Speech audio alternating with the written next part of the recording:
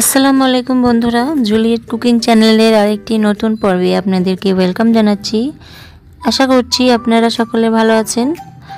আল্লাহর আশিস রহমতে আমিও খুব ভালো আছি। আমি আবারও একটা নতুন রেসিপি নিয়ে আপনাদের কাছে হাজির হয়েছি। আশা করছি এই রেসিপি আপনাদেরকে ভালো লাগবে। ভালো লাগলে অবশ্যই লাইক কমেন্ট শেয়ার করবেন পরিবার ও বন্ধুদের সাথে। এবং আমার চ্যানেলকে সাবস্ক্রাইব করে পাশেই থাকবেন। অনুরোধ রইল, শুরু থেকে শেষ পর্যন্ত ভিডিওটা পুরো অবশ্যই দেখবেন। তো চলুন দেরি না করে দেখানো যাক আমার আজকের রেসিপি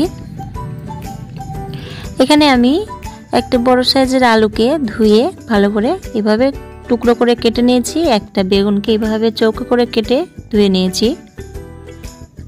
নিচে একটা টমেটো, এটা আমি কুচি করে কেটে নিয়েছি। আর একটা পেঁয়াজ নিয়েছি, সেটা আমি স্লাইস করে কেটে নিয়েছি। এখানে কড়াই নিয়েছি, কড়াইয়ে নিয়েছি দু চার চামচ সাদা তেল।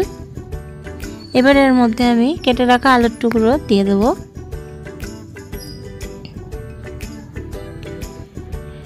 এবার এটাকে আমি গোল্ডেন ব্রাউন করে ভেজে নেব।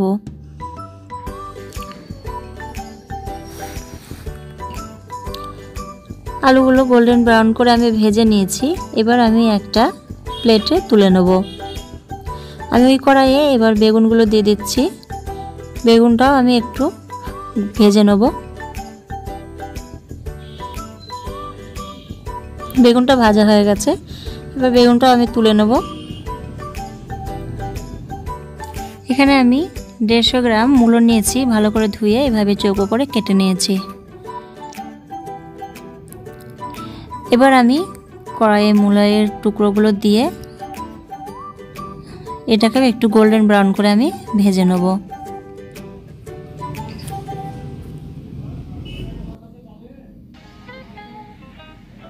এই দেখুন, মূলইগুলো গোল্ডেন ব্রাউন করে ভাজা হয়ে গেছে, আমি তুলে নিয়েছি। দিয়ে দিচ্ছি দু চা চামচ সর্ষের তেল। এর মধ্যে আমি দিয়ে দিচ্ছি একটা শুকনো লঙ্কা। শুকনো লঙ্কা আমি অর্ধেক করে দেবো। একটু ভেজে নিয়ে এবার আমি দিয়ে দিচ্ছি পেঁয়াজ কুচি।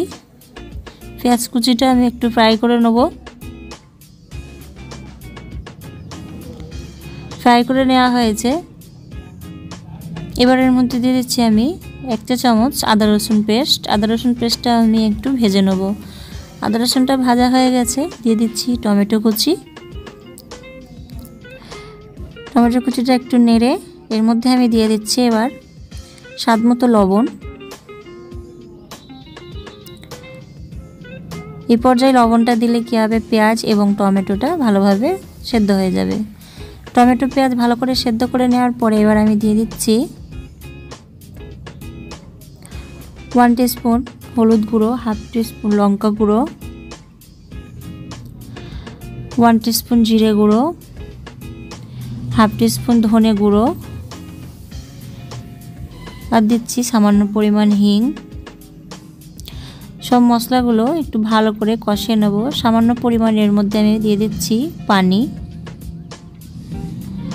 এবার মশলাটা আমি একটু ভালো করে কষিয়ে নেব। মশলাটা ভালো করে কষিয়ে নেওয়া হয়ে গেছে। এবার এর মধ্যে আমি দিয়ে দেবো ভেজে রাখা সবজিগুলো। ভেজে রাখা সবজিগুলোর সাথে মশলাগুলো ভালো করে মিক্স করে দিয়ে এবার মশলার সাথে ওটা মিক্স করে দেওয়ার পরে এটাকে কষিয়ে নেব সব সবজিগুলো। সবজিগুলো সব কষানো হয়ে গেছে, দিয়ে দিচ্ছি দুই কাপ পরিমাণ পানি। তারপর ঢাকনা দিয়ে ঢেকে এটাকে সেদ্ধ করে নেব। সেদ্ধ করে নেওয়ার পর ফিরে এসেছি। এর মধ্যে এবার আমি দিয়ে দিচ্ছি টেস্টকে ব্যালেন্স করার জন্য ওয়ান স্পুন চিনি। এবার একটু মিক্স করে দিয়ে এটাকে আমি ঢাকনা দিয়ে ঢেকে দেবো আরও এক মিনিট।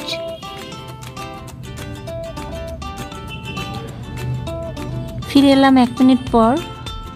আমার রান্না কমপ্লিট হয়ে গেছে, এবার গ্যাসের ফ্লেম বন্ধ করে দেবো এবং গরম গরম সার্ভ করে নেব।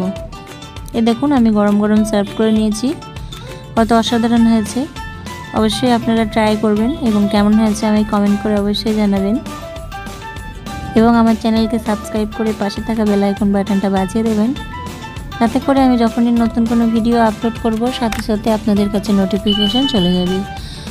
তো ফিরে আসব আবার কোনো নতুন রেসিপি নিয়ে। ভালো থাকবেন, সুস্থ থাকবেন। আল্লাহ হাফিজ।